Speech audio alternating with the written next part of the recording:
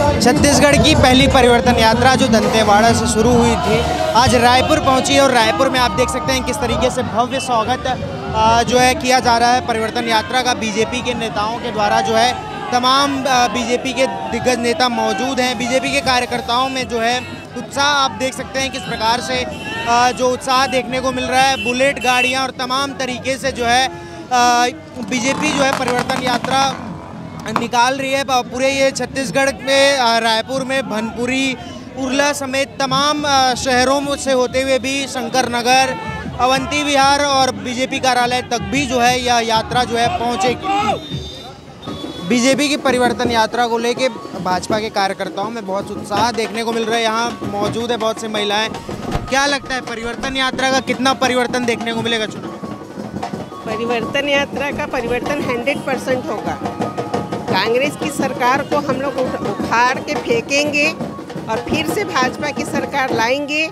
जो परिवर्तन यात्रा निकली है, उसको बहुत ज़्यादा रिस्पांस मिल रहा है। और पब्लिक भी चाहती है कि जो एक बार जो धोखा खाए, वो डबल धोखा नहीं खाएँगे और भाजपा की सरकार बनाएँगे। और भी तमाम महिलाएँ मौजूद हैं। क्या लगता है बीजेपी की परिवर्तन यात्रा का कितना प्रभाव 2023 के विधानसभा चुनाव में देखने को? बहुत ज़्यादा इसका प्रभाव रहेगा क्योंकि सभी जनता अभी त्रस्त हो गई है भूपेश सरकार से और इस बार हमारी भाजपा की सरकार बनेगी। भाजपा को वैसे परिवर्तन यात्रा की ज़रूरत क्यों पड़ी? भाजपा को परिवर्तन यात्रा की ज़रूरत इसलिए पड़ी क्योंकि ये जो भूपेश सरकार है वो यानी कि बोले थे जब सरकार बनी तब कि शराबबंदी बंद करेंगे करके लेकिन कुछ भी वादा पूरा नहीं किए हैं। इसलिए लोगों को विश्वास के खेले हैं इसलिए परिवर्तन यात्रा की ज़रूरत पड़ी है। भूपेश सरकार आ, हम जो हमको जितना वादा किए थे हमारे साथ उतना वादा पूरा नहीं किया वादा खिलाफी की है इसलिए हमको परिवर्तन यात्रा की ज़रूरत पड़ी है। और भी तमाम देख सकते हैं भीड़ मौजूद है पूरी जनता जो है बीजेपी की परिवर्तन यात्रा के स्वागत के लिए जो है यहाँ सड़कों पर हैं लोग। हमारे साथ मौजूद हैं राजेश मूड़त जी।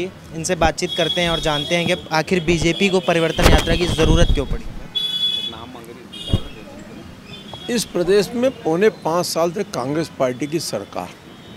जिन वादों के साथ में यह सरकार आई थी, इसने जनता की अपेक्षाओं के अनुरूप काम नहीं किया। इस प्रदेश के अंदर अराजकता का वातावरण निर्मित हुआ।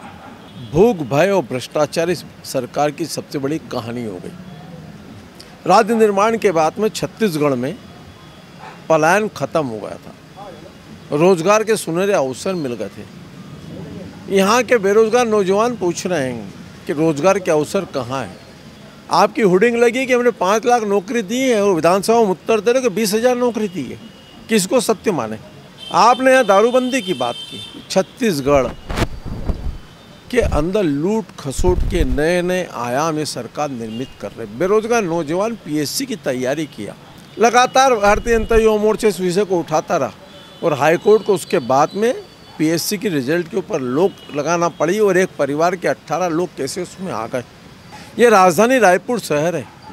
बहुत दुख के साथ में कहना पड़ता, पौने पाँच साल के अंदर इस रायपुर शहर के अंदर माननीय मुख्यमंत्री जी, आपने एक काम बता दो, एक सिंगल काम।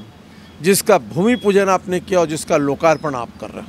ये शहर नहीं है, कबाड़ापुर हो गया, रायपुर नहीं होकर के, पूरा कबाड़ा करके रख दिया इस रायपुर शहर का।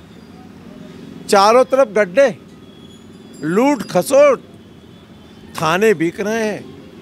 गांजा, अफीम, चरियस, शहर का यातायात अव्यवस्थित। गड्ढे ही गड्ढे चारों तरफ़। क्या जनता ने इस अपेक्षा के साथ में आपको चुन करके भेजा था यहाँ से? क्या पूरे क्षेत्र की जनता पूछ रही है? पूरा रायपुर पूछ रहा है, ये राजधानी है साहब।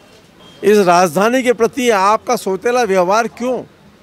ऐसे कौन से छत्तीसगढ़ के अंदर आयाम नहीं है जो कांग्रेस पार्टी ने आयाम को प्राप्त करने के लिए क्या नहीं किया? जुआ सट्टा, गांजा, अफीम, चरस, महादेव एप से लेकर के गरीबों के चावल खाने वाली ये सरकार। एक दिन पहले प्रदेश के अंदर आकर के सत्रह लाख परिवारों को बीपीएल परिवार में रहने वाले गरीब परिवारों को मकानों का हक छीनने वाले एक दिन पहले आकर के राहुल गांधी उसका शिलालेख लेकर घोषणा करते हैं। चला चली की बेला में जनता को गुमराह कब तक करोगे साहब?